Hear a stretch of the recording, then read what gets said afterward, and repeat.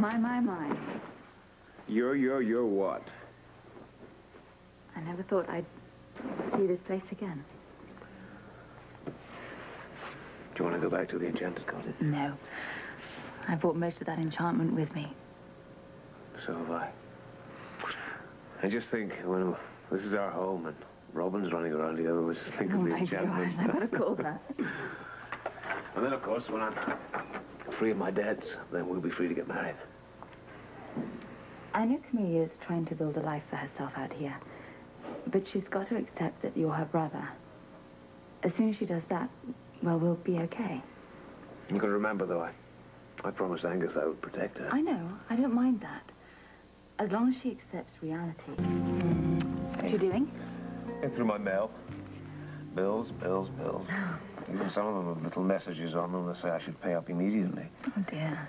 I do hate when you get these envelopes with little windows, you know. It's never very good news. What about this job with Sean? How does that seem financially? I must say, that venture shows great potential. Really? Well, no more depressing bills and tell me about this job with Sean. Wait, look. I said no more bills. Wait, look. What? It's a letter from Janet. I like her. Be nice having an aunt in the family. It's very short. Doesn't it? What does it say? Oh, no. What is it? This is too much.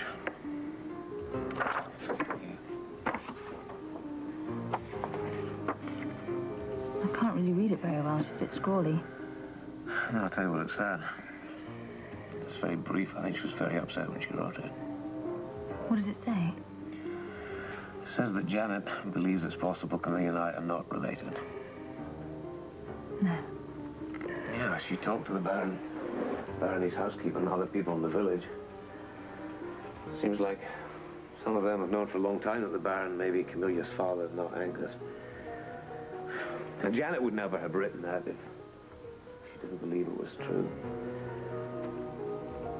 Really doesn't change anything, though. Camellia knows I, I love only one person in this whole world. That's you.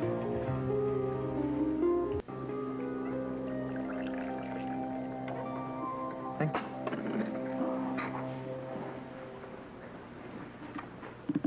Shilling for your thoughts. Gone up in price. Camellia. Has anything changed? Now you have reason to believe that she may not be your half-sister. I haven't really thought about that yet. Well, think about it. How do you feel towards her now? That's an easy question to answer. I mean, I was very angry with her when I believed she was my sister and she said she wasn't. But we did reach one point of understanding.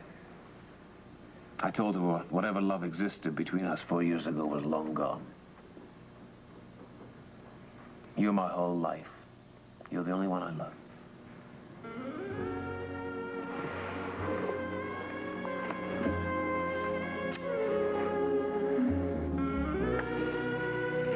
I think I, sh I should tell Camille about Janet's letter. When? Tonight? I think the sooner the better. Then we can start tomorrow off fresh. I agree. I'm gonna try the hospital. Sometimes she works late.